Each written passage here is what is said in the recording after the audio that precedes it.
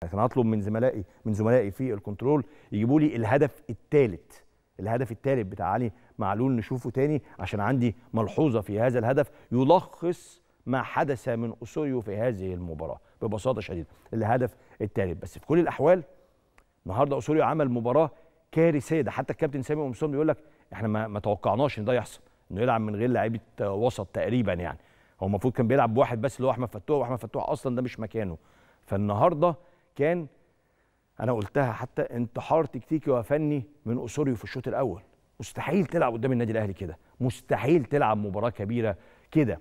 أنت ممكن تلعب مباراة بالشكل ده قدام فريق في وسط جدول ترتيب الدوري متزيل في جدول ترتيب الدوري لكن قدام الأهلي في أفضل أحواله أفضل فريق في القارة الأفريقية اللي حصد كل البطولات اللي اللعيبة كلها جاهزة فيه تعمل كده كان شيء غريب ومش مفهوم ابدا من أسوريو في مباراة اليوم. عشان كده النادي الأهلي جماهير النادي الأهلي بعد الشوط الأول قالت ليه ثلاثة بس؟ وبالمناسبة يعني ما هو الأهلي كان فيه كوره في القايم لقفشة في كوره خطيرة جدا لكهربا في الشوط الأول في شوية كور كده كانت خطيرة على نادي الزمالك. كان ممكن الأهلي يخرج بنتيجة كبيرة.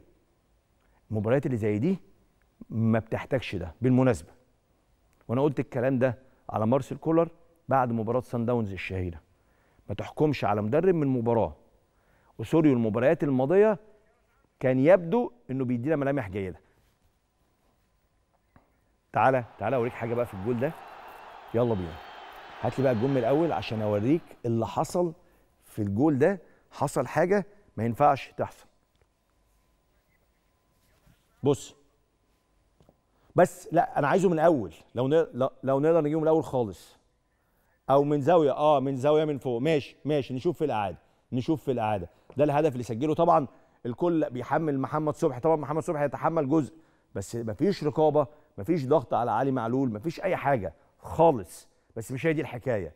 الحكاية هتشوفها دلوقتي في زاوية أعلى شوية عشان تعرف النهارده الزمالك الشوط الأول كان شكله عامل إيه. عشان تعرف اسوريو كان عامل إيه. أنا أعتقد محمد صبحي كان بيفكر في اللحظة دي في اسوريو إيه اللي أنت عملته فينا ده؟ إيه اللي أنت عملته فينا ده؟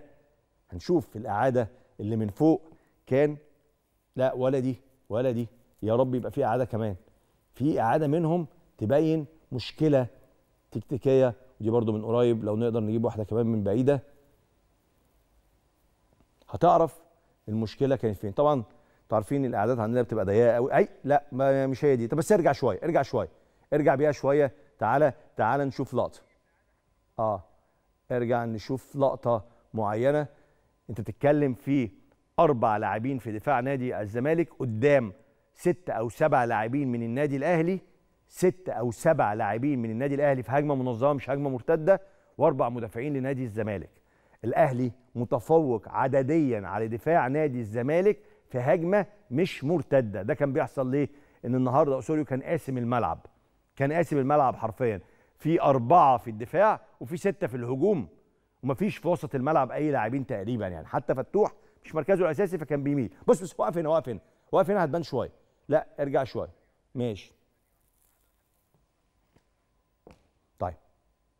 خلاص أنا شرحتها لحضراتكم عشان ممكن ما لحقناش نعملها فخلاص إحنا شرحناها لحضراتكم. هحاول مع زمايلي النهارده أشرحها لكم أكتر. بص عدد عدد وفي كثافة للأهلي أكتر من مدافعي نادي الزمالك بشكل غريب. جدا. طيب. دي الحكاية هشرحها لكم أكتر. هيبقى معايا محمد جمال. طب يلا هات. هات. هاتها واحدة واحدة. بس ارجع ارجع بقى شوية ارجع شوية ارجع شوية. قبل قبل ما يشوط قبل ما يشوط على طول وهي تحت رجله. وهي تحت رجله. تمام؟ بص سيبك بقى من آخر واحد في الزمالك. تمام؟ عد لعيبة نادي الزمالك. واحد اتنين تلاتة أربعة. مقابل كام لاعب من الأهلي؟ ست لاعبين من النادي الأهلي.